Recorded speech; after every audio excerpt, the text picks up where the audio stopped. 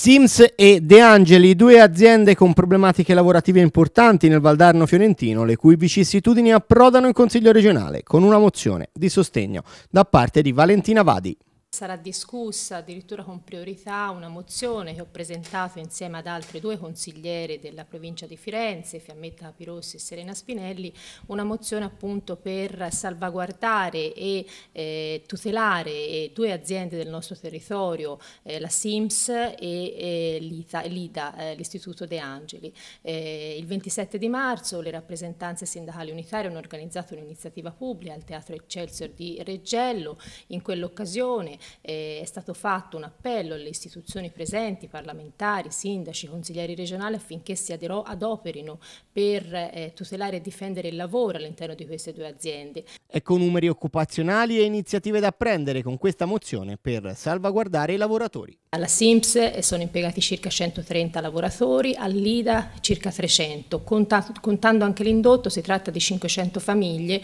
che in questo momento vivono una fase di difficoltà e di criticità. Eh, quello che abbiamo eh, come dire, sottolineato all'interno di questa mozione è la sollecitazione all'unità di crisi della, della Presidenza del, eh, del, Governatore Rossi, co coadiuvata e coordinata da Gianfranco Simoncini, affinché riapra il tavolo istituzionale per entrambe le aziende, al quale far sedere le due proprietà, in modo tale che queste possano assumersi delle, degli impegni e delle responsabilità e delle garanzie per salvaguardare i posti di lavoro e per mettere in atto una strategia industriale che possa eh, come dire, traguardare un futuro certo e sicuro per queste eh, famiglie e per tutto l'intero nostro Valdarno.